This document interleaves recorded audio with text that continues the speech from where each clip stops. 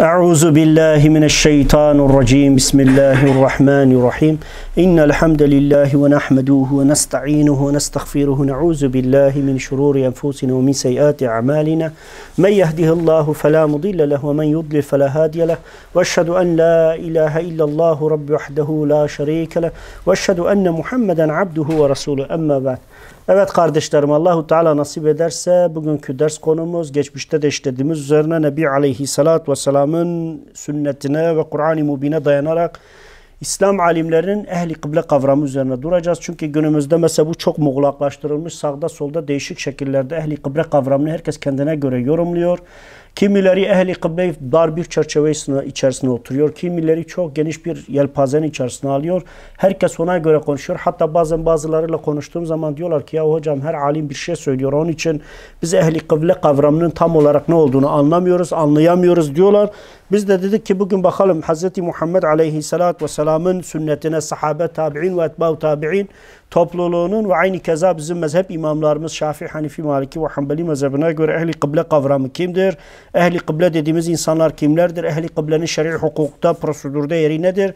Çünkü şu bir gerçek ve hakikattir. Nebi Aleyhisselatü Vesselam ahir zamanda kıyamete yakın bir dönemde aklı kıt bir genç neslin çıkacağını, bunların Kur'an'ın gırtlaklarından aşağı inmeyeceğini ama en büyük hastalıklarının havariç fikrine yani Müslümanları kafir görme, Müslümanları tekfir etme, Müslümanlara düşmanlık, kin besleme hastalığının yaygın olacağını ve birine tükenip öbürünün zuhur edeceğini bir de en önemlisi gerçekten cemaat kavramını yani Muhammed Aleyhisselatü Vesselam'ın sahabesinin tabi'in ve etba'u tabi'in toplum çizgisini benimsemek, onların yolunda gitmek her Müslümanın gerçekten haddi değildir, meselesi de değildir.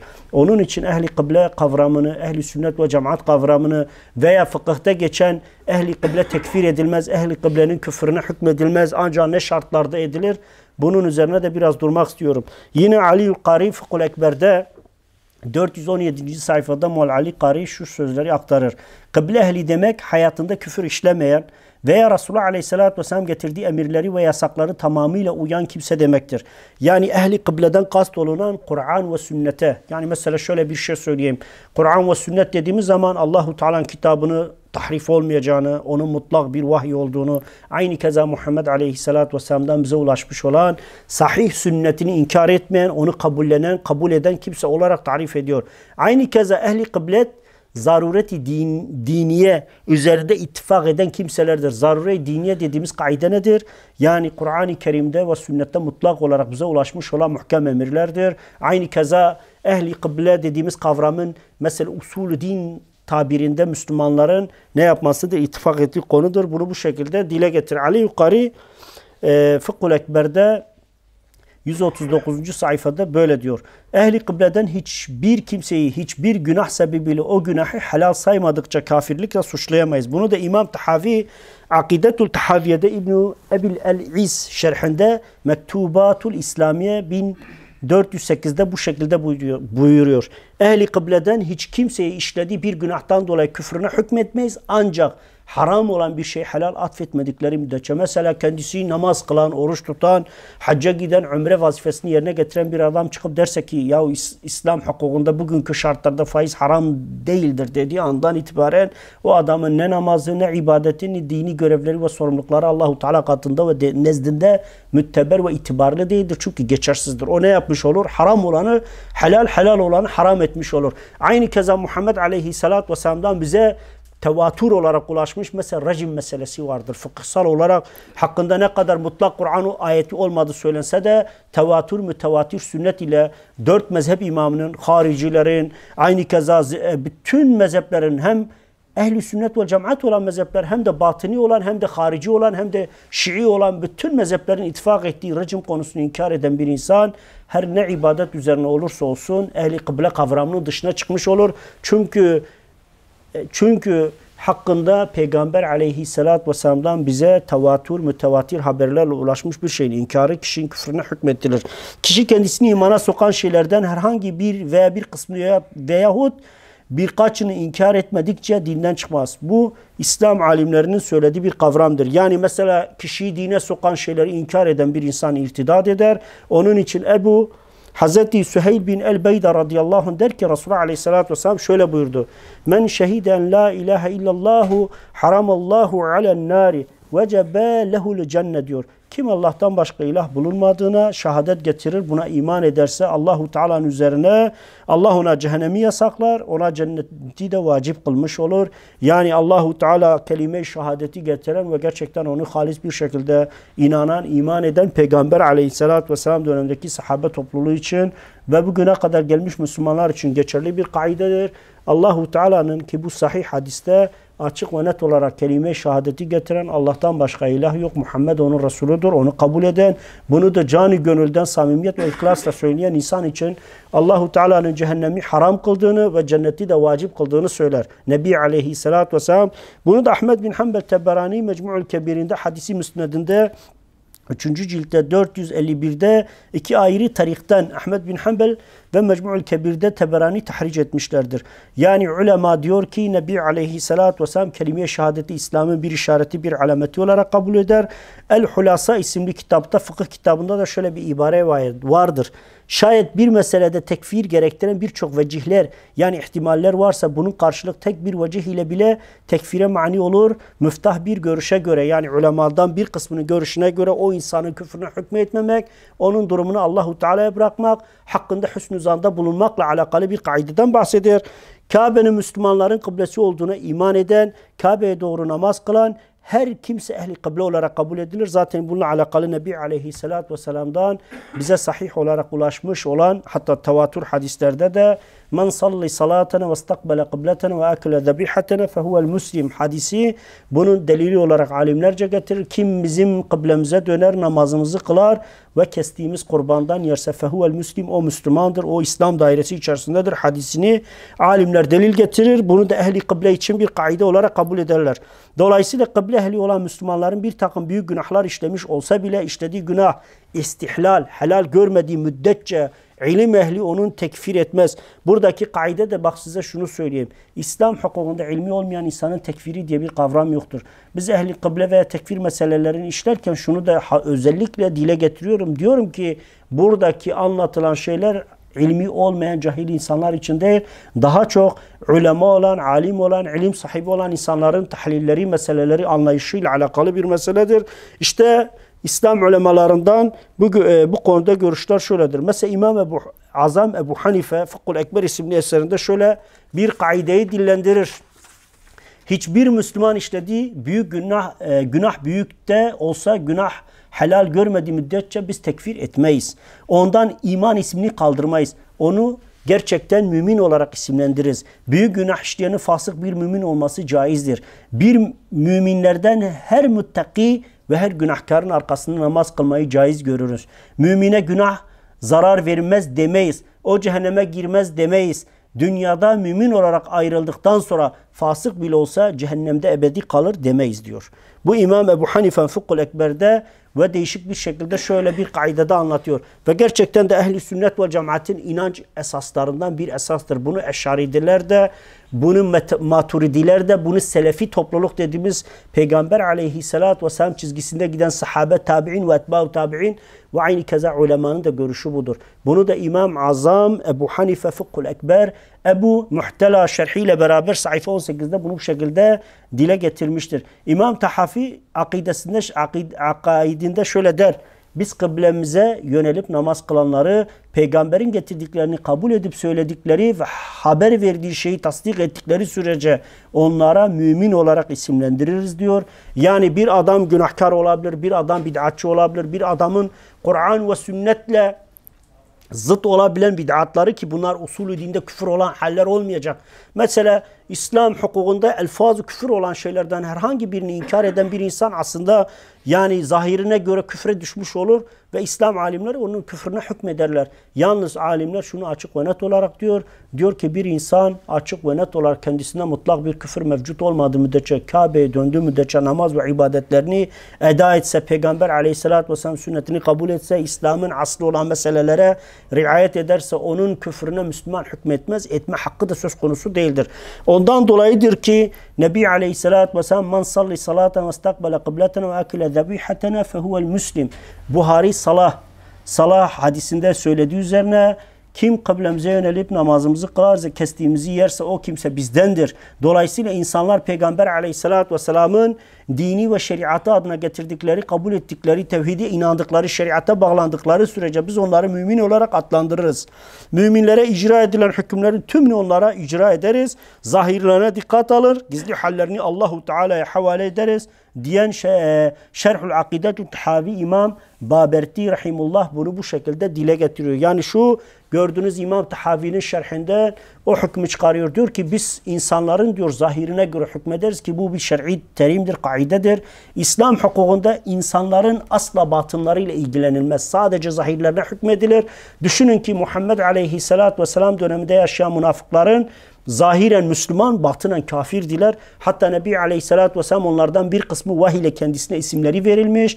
Dikkat ederseniz Abdullah İbni Selul münafıkların başıydı. Hatta Peygamber aleyhissalatü vesselam'dan ölmeden önce ölüm döşeğine düştüğünde Resulullah aleyhissalatü vesselam'ı çağırttırmış. Rivayetleri de okudum. Nebi aleyhissalatü vesselam'dan hırkasını istemiş. Sonra demiş ki ya Muhammed aleyhissalatü vesselam ben ölürsem benim cenaze namazımı kıl demiştir. Ama bu adam aslında hiçbir zaman Peygamber aleyhissalatü vesselam'a hakkıyla iman etmedi. Sadece diliyle Müslüman, vakitlerde cemaatle camide Peygamber aleyhissalatü vesselam arkasında saf tutuyor. Ama Peygamber aleyhissalatü vesselam arkasında da işler çeviriyor, fitne hesapları yapıyordu. Peygamber aleyhissalatü vesselam onun cenaze namazını kıldı. Ondan sonra ayet-i kerime indi. Ya Muhammed aleyhissalatü vesselam onların kabirlerinde durma dedi. Çünkü küfürlerini, sapıklıklarını sen biliyorsun. Sen onları gerçekten tanıyorsun diyerek Allahu Teala küfrü mutlak olanın kabirinde durmamayı emrediyor.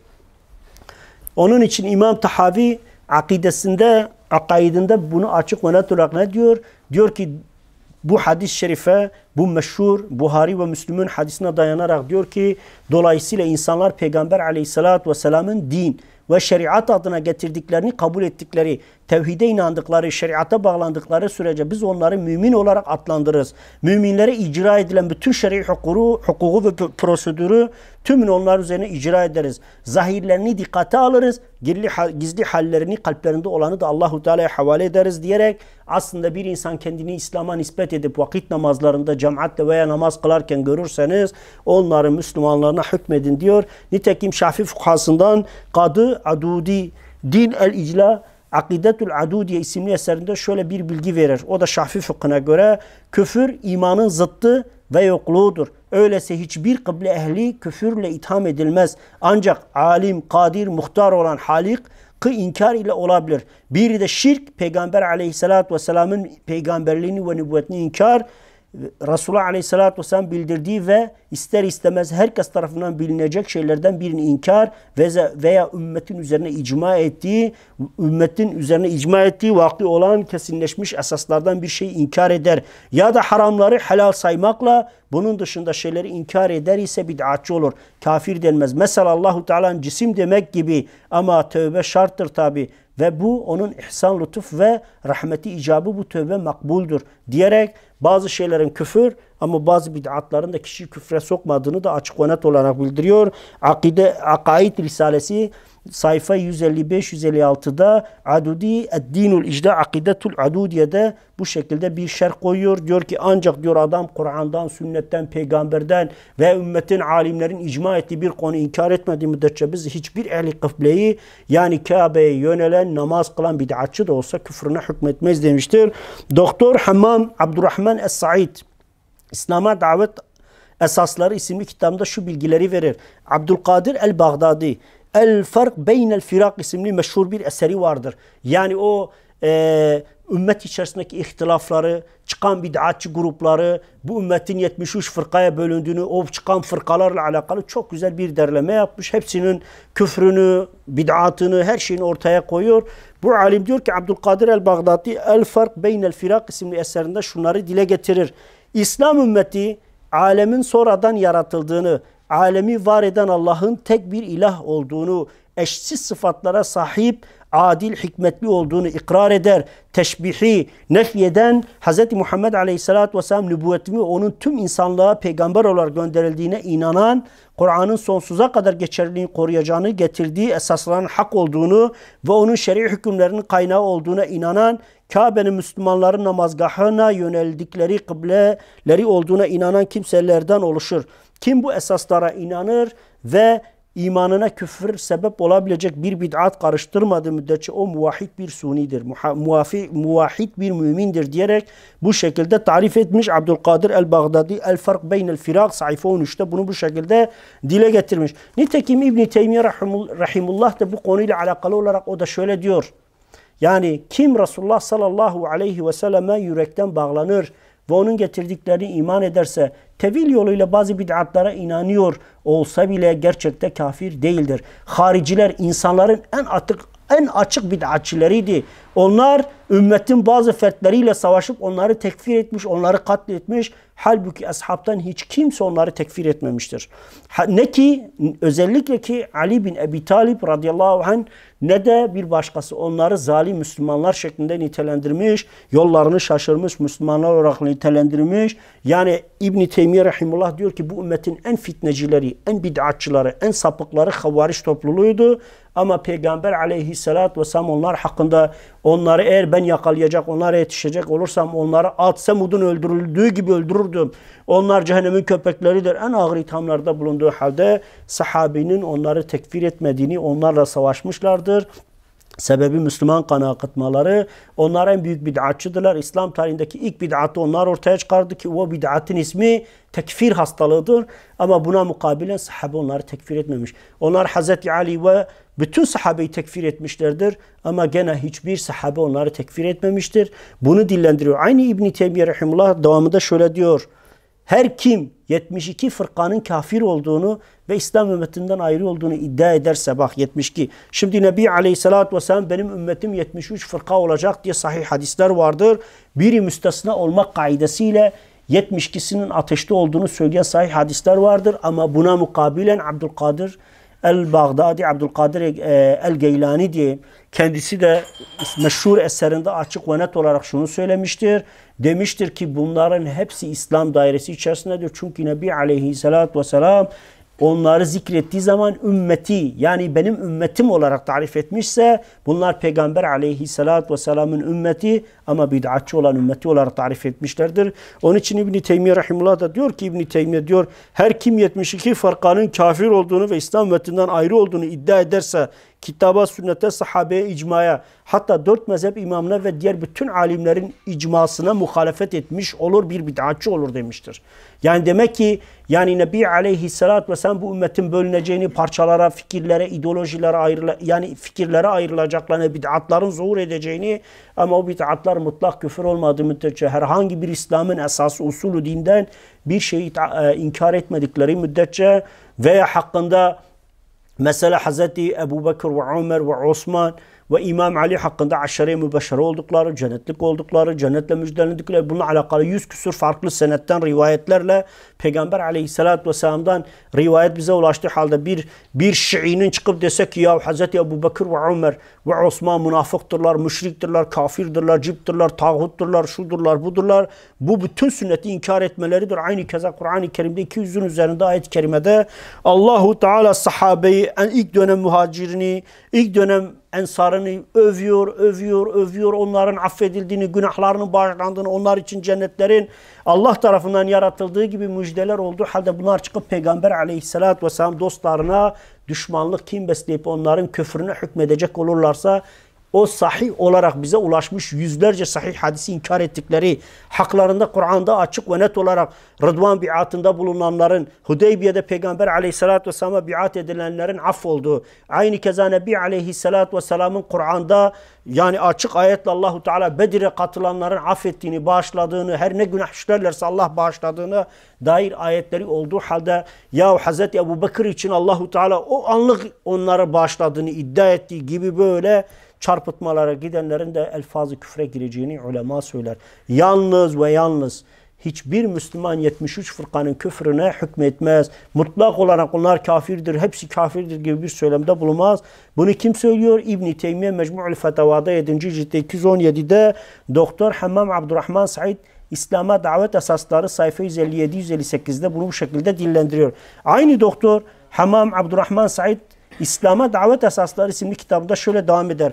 Bir Müslüman dini zaruretlerden herhangi birini inkar etmedikçe, dinin aslı olan yani usulü din diye bir kavramdan bahsediyoruz. Usulü dinden bir şey inkar etmediği müddetçe küfrünü küfre girdi, açıkça ikrar etmedikçe, Allah'ın kitabından bir ayet inkar etmedikçe veya Allah'ın haram kıldığı şeyi helal saymadıkça hiçbir Müslüman onun küfrüne hükmetmez, hiçbir kimse onu küfürle, kafirlikle suçlayamaz diyerek bu şekilde bir kaidenin İslam hukukunda olduğunu söylüyor. Onun için ehli kıble kavramı burada ortaya çıkıyor. Ehli kitap yani Allahu Teala önceki dinlere mensup olan işte Tevrat'a, Zebur'a, İncil'e mensup olan ehli kitap demiştir. Hz. Muhammed aleyhissalatü vesselam'a iman edip yönünü Kabe'ye çevirenlere de ehli kıble, ehli sala yani kaidesini kullanmış ve ben size şunu açık ve net olarak söyleyeyim. Şafi, Hanefi, Maliki ve Hanbeli daha önce işlediğimiz derslerde de bu konuları işlemişizdir. Dört mezhebin icma ettiği bir konu da nedir? Ehli kıble tekfir edilmez. Ancak açık bir küfür kendisine görülmediği müddetçe. Açık bir küfür derken zan olmayacak, şüphe olmayacak, iftira olmayacak, mutlak olacak. Ya küfrü açık, sarih bir şekilde olacak ya da kendi küfrünü açıkça ne yapacak? Ortaya koyacak. Mesela örnek vereyim kaderi inkar etmek gibi. Mesela kader, mesela imanın şartlarından birini inkar eden bir insanın küfrüne gireceğine dört mezhep icma etmiştir.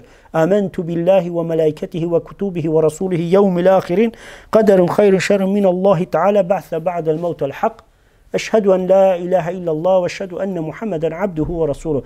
Bu kaidelerden birini inkar edenin küfre gireceğine ulema icma etmiştir. Mesela bugün mealcilik adı altında işte uydurulan din diye böyle bir tabirler kullanan sonra Peygamber aleyhissalatü vesselam'dan ve Kur'an'da açık olarak ayetlerle bize ulaşmış. Peygamber aleyhissalatü vesselam sünnetinde olan bazı kaide ve usulleri inkar eden mealciler var. Adam diyor ki kader diye bir kavram yok. Hatta daha ileri gidenleri var. Diyorlar ki sümme aşallahu teala senin kiminle evleneceğini bilemez. Yarın ne yapacağını bilemez. Böyle ağır ithamlarla Allahu Teala'ya ağır böyle hakka yani Allahu Teala'yı aşağılamaya kadar götürecek sapık ve sapkın fikirlerde bulunanları da onun dışında tutuyorlar.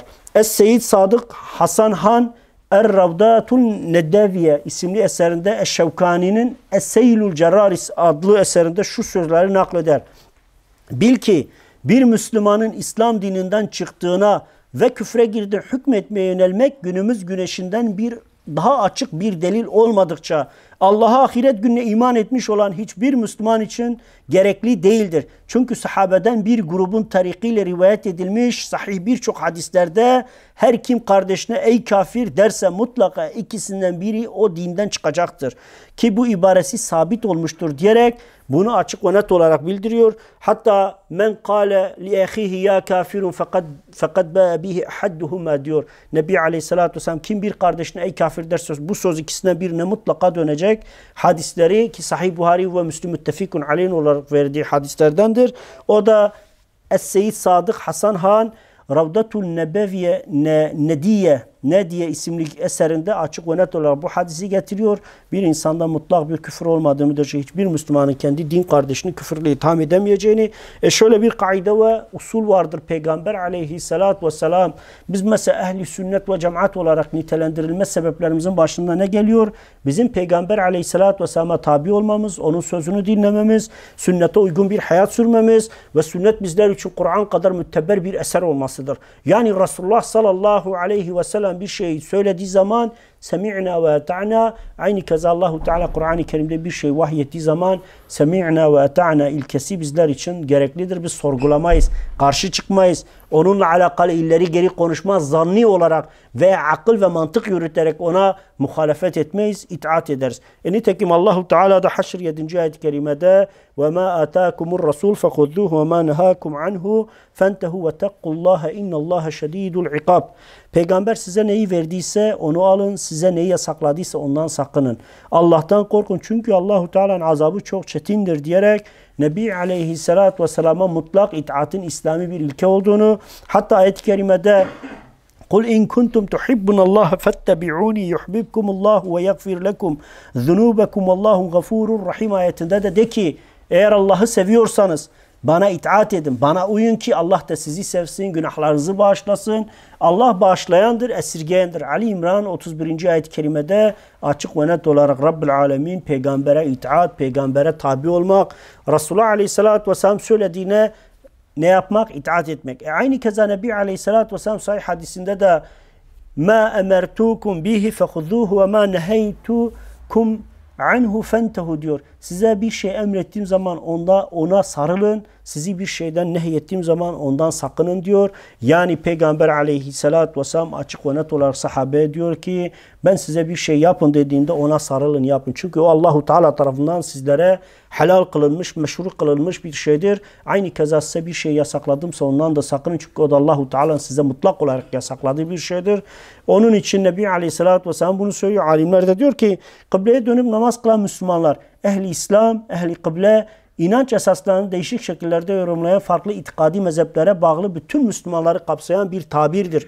Yani bugün şöyle bir şey söyleyeyim. Ehli kıble derken sadece ehli sünnet ve cemaat olarak algılamayız. Zaten ehli sünnet ve cemaat dediğimiz Şafii, Hanifi, Maliki ve Hanbeli ve onların yolunda olan ve gerçekten geçmişte mezhepleri olup bugün varlıkları olmamış olan ehli sünnet çizgisinde binlerce alim var. Biz bunları tek kastetmiyoruz. Bunun içine hariciler de giriyor, bunun içine murciye de giriyor, bunun içine şia da giriyor, bunun içine zeydiler de giriyor, bunun içine yani gulat olmamış, küfre girmemiş olan bütün bid'atçı topluluklar da giriyor. Ehli kıble demek bu demektir.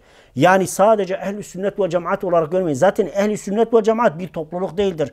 Bir fırka hiç değildir. Ehli sünnet ve cemaat peygamber aleyhissalatü vesselam mirasçılarıdır. Aleyhissalatü vesselam yolunu sürdüren hakiki topluluktur. Peki bid'at grupları veya gruplar veya fırkalar neyden ayrılır? Ehli sünnet ve cemaattan ayrılan yapılardır. Onun için onlarla asla kıyas edilmez.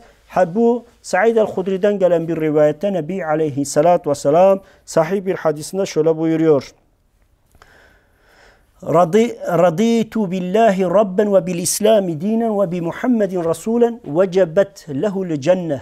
Kim Rab olarak Allah'tan, din olarak İslam'dan, peygamber olarak Muhammed'den hoşnut oldum derse cennet ona vacip olur. Bu hadisi Ebu Davud 2368'de müderekte birinci ciltte 518, ikinci ciltte 39'da hakim tahric etmiş ve bunun sahih olduğunu söylemiştir. Doğunun için ulema gerçekten açık ve net olarak onu söyler. Kim Rab olarak Allah'tan, din olarak İslam'dan, peygamber olarak Müslüman, peygamber olarak Muhammed'den hoşnut oldum derse o ehli nedir? Ehli kıbledir. Kabe'ye doğru yönelerek namaz kılanlar anlamdaki ehli kıble, ehli, ehlül kıble tamlaması küfre girmediği kabul edilen, Kabe'ye doğru yönelen, namaz e, kılmanın farz olduğuna inanan ve bunu yapan Müslümanları ifade etmek için kullanılmış bir terimdir. Başlangıçta bunun için ehli salah yani namaz kılanlar tabiri kullanılmıştır. Ehli kıbleyi tekfir ise böyle bir kafir saymak demektir hiçbir Müslümanın kendisi ehli kıble olan diğer kardeşini tekfir etme hakkı ve etkisi yoktur. Bu konuda ehli sünnet ve cemaat uleması bu konuda bu görüştedir. Hatta bununla alakalı değişik rivayetler ve raviler vardır. Hatta Ebu Musa ile Şari'den bize şöyle bir rivayet ulaşmıştır. Kavminden birkaç kişiyle diyor, Ebu Musa ile Şari diyor ki ben kavmimden birkaç kişiyle Nebi Aleyhisselatü Vesselam yanına gittim. Bana şöyle buyurdu. Ebeşiru ve beşiru men وراءكم إنه من شهادة أن لا إله إلا الله صادقا بها دخل الجنة Kendinize ve kavminizden ayrıldığınızda onları müjdeleyin. Müjdeleyin kim cani gönülden tam bir sadakat ile la ilahe illallah derse Allahu Teala mutlaka onu cennete koyacak. Diyor ki biz Ebu Musa Leşer diyor ki ben hemen o arkadaşlarımla beraber kendi kabileme döneceğim onlara haber vereceğim. Yo ayrıldık Yolda Hazreti Ömer'i gördük. Hazreti Ömer bizim böyle sevecenli, güler yüzlü olduğumuzu görünce hayırdır ne oldu deyince biz de meseleyi anlattık. Resulullah Aleyhisselatü Vesselam böyle dediğini söyledik. Diyor o da diyor beni tuttu ve geri getirdi. Resulullah Aleyhisselatü Vesselam yanına dedi ki ya Resulullah sen bunu mu söyledin? Evet deyince e, ey Allah'ın Resulü sen böyle diyorsun bunlar da buna güvenip amel etmeyi bırakacaklar diyerek yani bunun Götürdü diyor ki ey Allah Resulü bu takdirde insanlar amel etmez buna bel bağlarlar. Allah Resulü aleyhissalatü vesselam bana sus, sustu işareti yani sus işareti yaptı. Yani bunu anlatmamamı söyledi.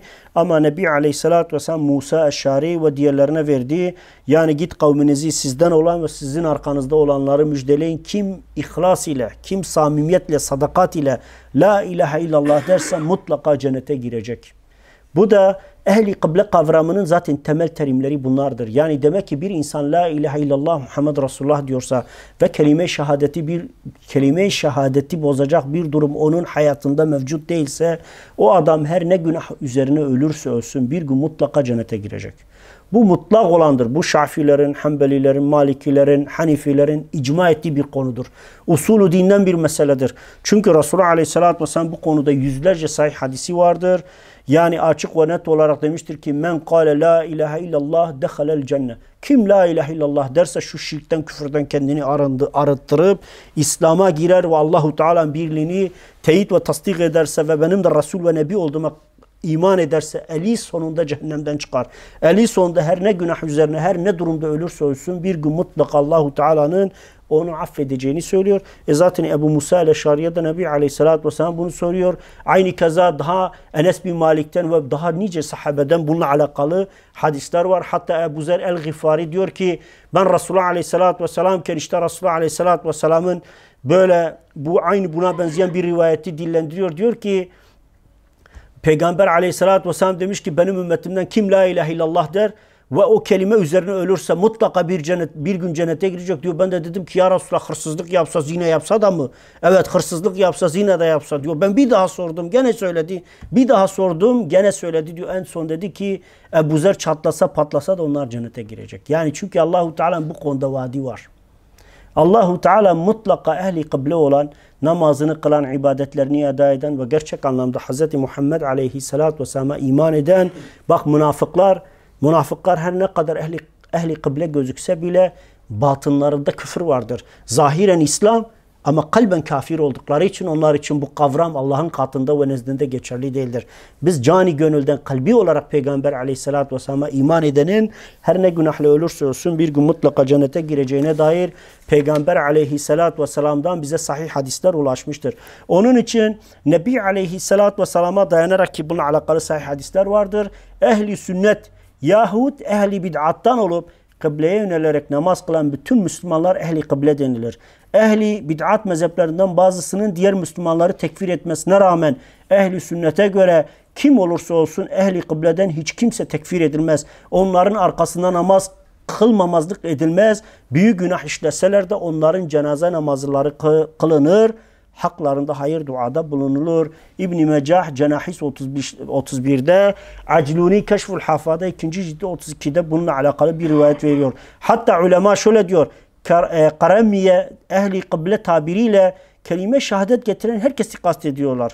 Ehli sünnet uleması ise ehli kıbleyi Kabe'ye yönelerek namaz kılmanın farziyetini kabul eden ve o ibadeti eda eden olarak tarif etmişlerdir. Ali el-Kari Böyle diyor Fıkhul Ekber şerhinde. E gerçekte de öyledir. Mesela ehli sünnet ve cemaate göre Şafi, Hanifi, Maliki ve Hanbelilerde ehli kıble kavramı yönünü Kabe'ye çeviren vakit namazlarını eda eden Müslüman için kullanılan bir tabirdir. Bunun için daha geniş bir takım e, tanım yapacak şö yaparak şöyle der. Ehli kıble zarureti dini üzerine ittifak eden kimselerdir. Yani usulü din dediğimiz şartları kabul eden herkes ehli kıbledir. Usulü dinden bir şey inkar edenin küfrü konusu da ulemaca zaten açık ve net olarak bildirilmiş. Onun için şöyle bir kaide vardır. Ulema ehli kıbleyi tarif ettikleri zaman ki bunu e, Ali el-Kari Şerhul, e, şer, e, Şerhul Fıkhul Ekber'de bunu söylüyor. Ehli kıbleyi, ehli sünneti ve ehli bid'a şeklinde ikiye ayıran alimler Müttezile, Şia, Keremiye, Mücessime, Müteşebbihe, Mürciye ve harici topluluklarını da biz, bizzat bid'at mezheplerini de ehli kıbleye dahil etmiş ve saymışlardır. Nitekim Hz. Ali haricilerin hükmü sorulduğu zaman sahabe diyor ki ya imam sen bizim bunlarla savaşmamızı emrediyorsun. Peki bunların hükmü nedir? Bunlar kafir mi, münafık mı, Müslüman mı nedir diyor. Bunlar diyor yollarını şaşırmış kardeşlerimizdir diyor. Bunlar diyor Allahu Teala'nın yasakladığı kanı akıttıkları için biz onlarla savaşmakla mükellefiz diyor. Ama onları tekfir etmemiştir. Hatta en en garip bir durum İslam alimlerinin bir kısmı haricileri tekfir etmiş. Çünkü Peygamber aleyhissalatü vesselam sert sözleri vardır onlarla alakalı. Ama gene %70'i ne demişlerdir? Onlar ehli kıbledir demişlerdir. Bu kaideden itibaren baktığınız zaman demek ki Nebi Aleyhisselatü Vesselam bugün müttezilen ehli sünnetle çalışan çok farklı görüşleri var.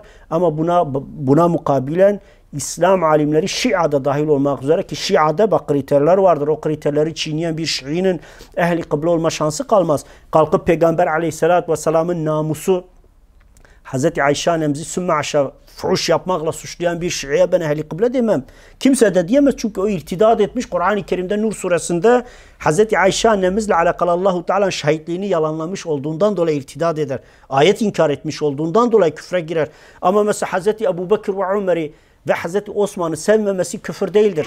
Ancak onları hakkında mesela mütevatir naslarla Peygamber aleyhissalatü vesselam'dan onların aşere-i mübeşşere oldukları, cennetle müjdelendikleri, Allahu Teala'nın onlar için cennet hazırladığını kesin ve mutlak olarak bize ulaşmış yüzlerce sahih hadisi inkar etmelerinden ve aynı kere Kur'an-ı Kerim'de onlarla alakalı inmiş olan ayetleri inkarlarından dolayı küfre girerler. Bunu hiçbir zaman unutmayın. Onun için ulema bunu açık ve net olarak demişlerdir. Saymış. Fakat açıkça İslam'ın temel naslarını değiştiren, bozan, reddeden batinilik, gulat-ı şia, havariş topluluklarının bazı bölümleri Cahmiye, Bahayiye, Kadiyaniye, Ahmediyani, Nusayrilik ve Dürzilik gibi fırka ve mezhepleri ehli kıbleden saymamışlar. Çünkü bunların arasında mesela haricilerin Ezrakiye mezhebi bütün Müslümanların kanını, malını, canını kendileri için helal saymışlardır ki bu elfazı küfürdür. Evet, helal sayarak Müslümanları katletmiş etmiş olan topluluktur. İslam'da tekfiri ayrılığı, bölük pürçük fırkaya ayrılmayı, cedeli, tevili inanç esaslarını tartışılmasını ehli bid'at mezhepleri ilk defa ortaya atmıştır. Bunlar içinde de dalalet ehli olanlar, hevalarına uyanlar İslam için en tehlikeli olanlardır. Mesela Kur'an ve sünnetten kopmuş, Kur'an-ı Kerim'le çelişen fiiller içerisinde olan, usulü dinle çelişen, sümme aşa Hazreti Ali Allah gibi gösteren, Ali eşittir Allah diyen bir Şii küfre girer. Veya kalkıp Peygamber aleyhissalatü vesselam namusuna dil uzatan veya sahabeyi tekfir eden bir Şii küfre girer. Ama onun dışında kalkıp da bütün Şia'yı mutlak olarak kafir olarak tarif etmek, onları ehli kıblenin dışına çıkartmak İslam alimlerinin yapmadığı bir şeydir. Onun için alimler bunu bu şekilde ayırmış. Hatta Nebi Aleyhisselatü Vesselam'ın hadislerine dayanarak İbn Teymiye ne diyor? Diyor ki Peygamber Aleyhisselatü Vesselam benim ümmetim 73 fırkaya bölünecek biri müstesna hepsi ateştedir derken buradaki ateşte olmaları ebedi ateş değildir o bid'atları ve hurafeleri yüzünden Allah tarafından cezalandırılmaları ama onların küfre ve kafir olarak nitelendirilmemeleridir. Hatta Şafii, Hanifi, Maliki ve Hanbeli mezhebine göre ve ulemanın büyük çoğunluğun görüşüne göre de o 72 fırka kafir değildir. O 72 fırka bid'atçı oldukları için ilk etapta cehenneme girecek, azap görecek olan topluluklardır. Bunu bu şekilde Nebi Aleyhisselatü Vesselam'dan hadislerde çünkü diyorlar ki eğer bunlar kafir olsaydı Peygamber aleyhissalatü vesselam hadislerde ümmeti demezdi. Benim ümmetim demezdi. Bana tabi olan topluluk demezdi. Onun için böyle demişlerdir. Öte yandan ehli sünnet mezhepleri içerisinde de muamelatta bazı noktalarda görüş ayrılıkları bulunmaktadır. Mesela Hanbeli mezhebine göre tembellikten de olsa uzursuz namazı terk edenin kafir olacağına hükmetmişlerdir. Ama aynı kezaba dikkat ederseniz ki İmam Ebu İmam Ahmed bin Hanbel hadis imamıdır. Güzel bir alimdir. Ehli sünnetin çok güçlü bir alimidir ama kendisi demiştir ki vakit namazlarını terk eden kafir olur. Küfre girer, irtidad eder demiştir. Onun için ehli sünnet içerisinde de ihtilaflar vardır. Ama bu ihtilafların hiçbiri küfür sebebi değildir. Onun için mesela Hanbeliler tembellik, tembellikle de olsa özürsüz namazı terk edeni kafir sayarlar. Ebu Yala El-Ahkamul Sultaniye 53. sayfada bunu dile getiriyor. İmam Ebu Hanife ya göre ise namazı kasten terk eden kafir olmaz namaz kılmadığı için diğer üç mezhebe göre öldürülmesine rağmen o onların o namazı terk edenin hapsedilmesini ve hapiste tutulması konusundaki hükmü vardır. Der ki hapsedilir. El Fetvaul Alemgiriye 2. ciltte 269'da bunu bu şekilde dile getiriyor. Demek ki ehli sünnet ve cemaat topluluğu içerisinde ihtilaflar olmuştur. Bu ihtilafları da bir fitne sebebine çevirenler ancak sapık olanlardır. Çünkü bize göre dört mezhep haktır ve onların iştihatları arasında farklılıklar varsa iştihatta cumhurun görüşü alınır.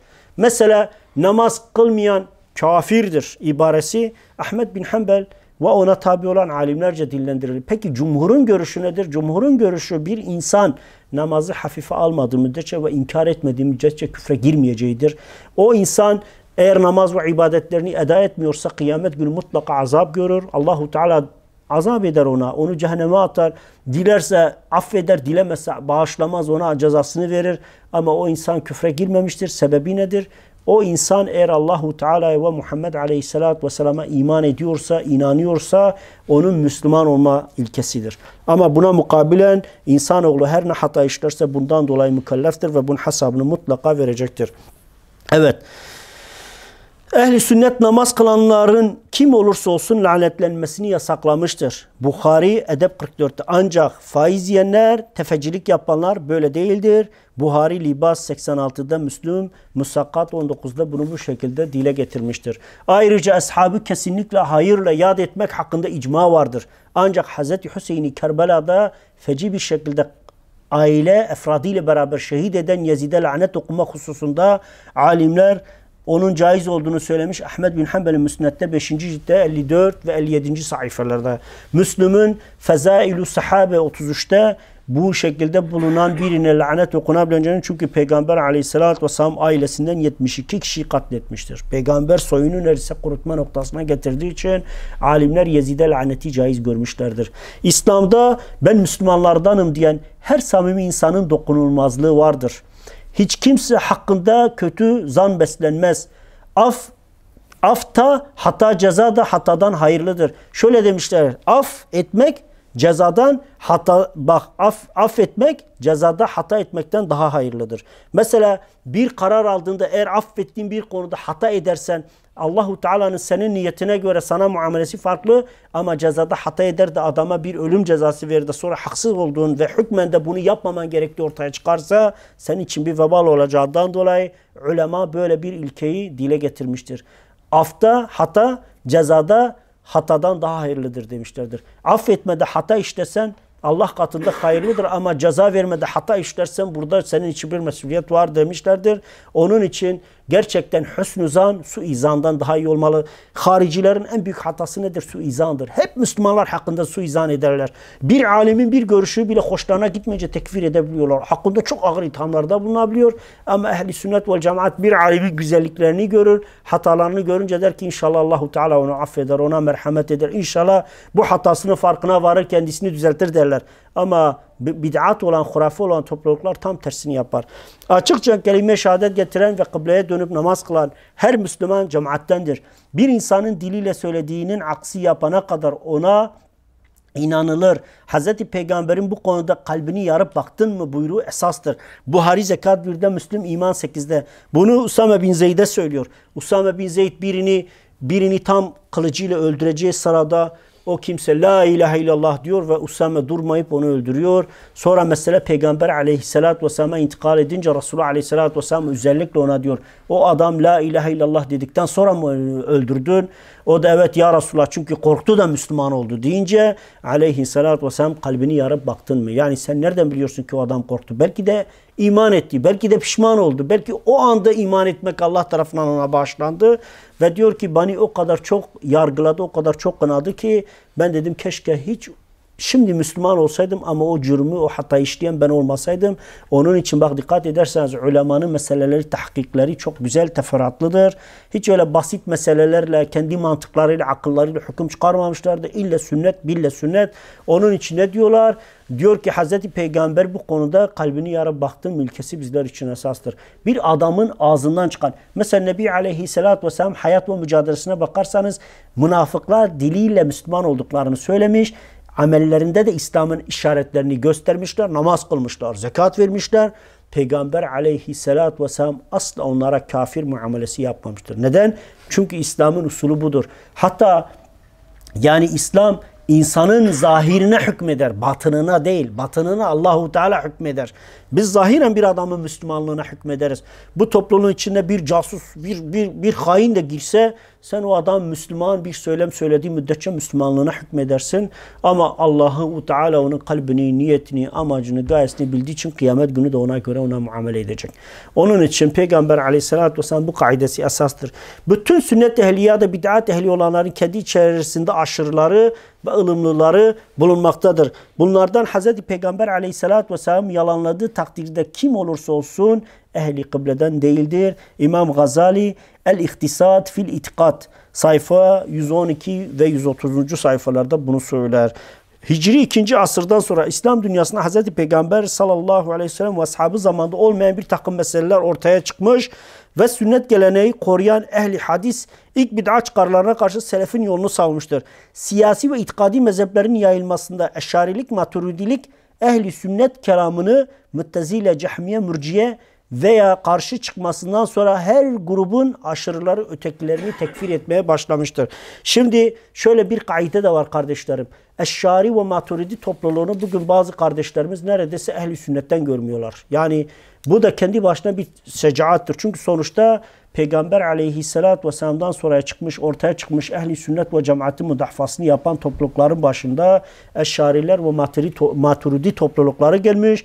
Bugün Muttezile, Murciye, Cahmiye gibi yapılara karşı yüzyıllar boyunca mücadele vermiş ama haricilerin bazı fırkaları veya bazı harici toplulukları neredeyse Eşari ve Maturidileri kafir görecek, sapık görecek, ehli sünnet ve cemaatin dışında görecek, onları itirdatlıkla, küfürle suçlayacak kadar böyle sapık fırkaların da zuhur ettiğini hatta sosyal medyada ya eşarilik ve maturidiliğin Müslümanlıkla kıyaslarını yapan insanlarla karşılaşabiliyoruz. Ama şu bir gerçek ve hakikat ki eşarilik genelde İmam Şafii ve Ahmed bin Hanbel ile Malik'in, İmam Malik'in yolunu sürdürür. Maturidi fırkası da genelde İmam Ebu Hanife'nin fikirlerine yakın olan görüşleri benimsemiştir. E, İslam büyük günah gibi meselelerin onları tartışmaya soktular. Ve aralarında özellikle diyoruz ya Müttezile, Mürciye, Cahmiye ve Havariş topluluğu karşı çıktıktan sonra her grubun ötekini tekfir etmeye başladığını haricilerin her zaman en önemli sapık fırka oldu ve itikatta iman, İslam, büyük günah gibi meseleleri onlar tartışmaya soktular. Ve bu arada imameti de siyasi, siyasi bir mesele olmasına rağmen akide sorunları arasında müteala edilmeye başlandı. Hanbelilerden bir takım gruplar fevk ve istivayı yalanladıkları illeri sürerek eşari ve eşari, eşarileri ve müttezileni müte, e, tekfir ederlerdi. İmam Gazali e, Faysalatul tefrika beynel İslam vel zındıka sayfa 100 e, 1339 sayfasında sayfa 33'te de bunu böyle dile getiriyor. Reddül Muhtar'da İbni Abidin şöyle der. Zaruri din bilgilerinden ve iman edilecek şeylerden birini bile inanmayan La ilahe illallah Muhammed Resulullah dese de kafir olur. Neymiş? Zaruri din, bilgi, din bilgilerinden ve iman edilecek esaslardan birine inanmayan, reddeden kimse kelime şehadet de getirse kafir olur. Sadece Allah'a inanmak kafi değildir. Amentu'da bildirilen altı husustan herhangi birini inkar eden bir kimse irtidad eder. Mesela kaderi inkar eden e, kafir olur. Bütün iyi amelleri Allahu Teala nezdinde yok olur gider demiştir. E, Reddül Muhtar'da İbni Abidin. Yani gerçekten bakıldığı zaman bu kadar önemli bir kavram. Onun için ehli sünnet ve cemaatin ehli kıble kavramına bakışı bununla alakalıdır. Çünkü gerçekten ehli kıble dediğimiz zaman yani Kabe'ye dönen, İslam'ın herhangi zaruri bir emrini inkar etmeyen, kendisini Allah'a ve Resulüne nispet eden, namaz kılan, oruç tutan, hacca giden her Müslümanı kapsar. Hatta gulat fırkaları yani gulat derken bid'at ehli olan fırkaları da kapsadığını ehli sünnet ve cemaat bunu dile getirir. Onun için bu konuda öyle önüne geleni kafirlikle, küfürle suçlama konularında Müslümanların çok dikkatli olması gerekiyor. Neden diyeceksiniz? Çünkü ehli kıble kavramı kendi başına bir meseledir. Ehli kıble zarure din olan meselelerde icma edilen konuları inanan, kabul eden herkes içine girer.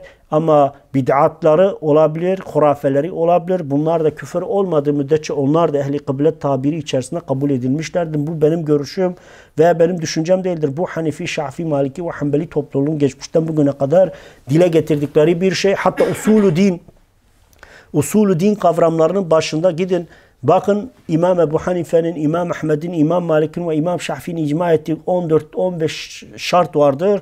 Bunlardan biri ehli kıble tekfir edilemez.